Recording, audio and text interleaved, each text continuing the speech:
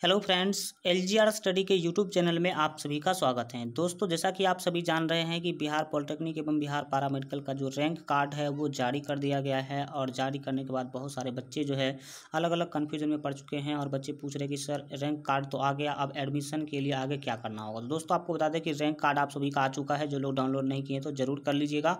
और आज के वीडियो में हम बात करने वाले हैं कि रैंक कार्ड आने के बाद एडमिशन पाने के लिए अब आगे आप लोगों को कौन कौन सा प्रोसेस जो है करना होगा। चलिए शुरू करते हैं बिना टाइम कमाए इस वीडियो को। सबसे पहले तो मैं आपको बता दूँ कि आपका रैंक कार्ड आ चुका है, सभी का रैंक शो कर रहा होगा, ठीक है? इस तरह का आपके पास भी होगा। अब सबसे पहला स्टेप क्या होगा? अब आपको बता दें कि आपका डेट जारी किया जाएगा चॉइस फिलिंग का। किसका? चॉइस फिलिंग का क्या किया जाएगा? डेट जारी किया जाएगा। चॉइस फिलिंग क्या है? अब पाँच से छः दिन के अंदर जो है आपका चॉइस भरने का डेट आ जाएगा। चॉइस भरने का क्या है? चॉइस फिलिंग में क्या करना होता है समझिए। चॉइस फिलिंग में आपको चॉइस करना होगा कि आप किस कॉलेज में एडमिशन लेना चाहते हैं और कौन सा ब्रांच लेना चाहते हैं मैकेनिकल सिविल या फिर कौन सा या फिर जो भी आपके कोर्स है, कौन सा कोर्स करना चाहते हैं? तो वहाँ पर आपको कॉलेज का कुछ ऑप्शन देना होगा एंड आपके कुछ ब्रांच यानी कि जिसको हम ट्रेड भी कर सकते हैं, उसका क्या करना होगा? ऑप्शन देना होगा। जैसे कि आप मैकेनिकल लेना चाहते हैं कि सिविल लेना चाहते हैं या फिर जो भी चीज़ें हैं, जो भी आपके ब्रांच है, किसमें लेना चाहते हैं? तो पाँच छः आपको क्या करना होगा? या फिर जो आपके मनपसंद का होगा, वो ब्रांच और वो कॉलेज आपको क्या करना होगा, फिल करना होगा। ये काम सभी बच्चों को करना होगा ए टू जेड बच्चों को। उसके बाद चॉइस फिलिंग कर देने के बाद, आपको बताना चाहिए कि मेरिट लिस्ट जारी किया जाएगा। First merit list second merit list third merit list तक जारी किया जाता है। उसके बाद फोर्थ मेरिट लिस्ट का कम चांस होता है। तो मान लीजिए कि फ़र्स्ट मेरिट लिस्ट जारी किया गया, उसमें आपका नाम आ गया, ठीक है? तो फ़र्स्ट मेरिट लिस्ट जो है, जैसे ही जारी किया जाएगा, अगर उसमें आपका नाम होगा, तब आप क्या करेंगे? तो आपको जो है फ़र्स्ट मेरिट लिस्ट जो जारी किया जाएगा, अगर उसमें आपका नाम होगा तो आपके नाम से जो है अलॉटमेंट लेटर जिसको हम अलाटमेंट ऑर्डर कहते हैं अलॉटमेंट ऑर्डर जो है आपके नाम से आ जाएगा, नेट पर आप वहाँ से डाउनलोड कर पाएँगे। और उसी अलॉटमेंट ऑर्डर में आपको कौन सेलिंग सेंटर का, कौन सेलिंग सेंटर का नाम लिखा गया होगा कि हाँ आपको कौन सेलिंग के लिए कहाँ जाना है, ठीक है? तो अलॉटमेंट ऑर्डर आने के बाद आपको काउंसलिंग के लिए जाना होगा?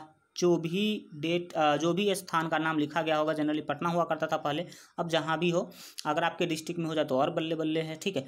तो कौन सेलिंग जो है ना काउंसलिंग का जो है वहाँ पर आपको क्या करना होगा? जाना होगा काउंसिलिंग के लिए। काउंसिलिंग में आपको क्या लेके जाना होगा? तो काउंसिलिंग जो है, आपका जो अलाटमेंट ऑर्डर में जो भी काउंसिलिंग सेंटर लिखा होगा तो अपने काउंसिलिंग सेंटर पर आपको काउंसिलिंग करवाने के लिए जाना होगा। इसमें आपको अपना सारा डॉक्यूमेंट लेकर के जाना होगा, ठीक है? तो काउंसलिंग में क्या क्या डॉक्यूमेंट लगेगा, इस पर एक हम स्पेशल वीडियो आप लोगों को बना देंगे। बस एक से दो घंटा के अंदर वो भी आपको जो है मिल जाएगा। बस उतना डॉक्यूमेंट आप लोग तैयार कर लीजिएगा। वो सारा का सारा डॉक्यूमेंट आपको लगने वाला है, ठीक है?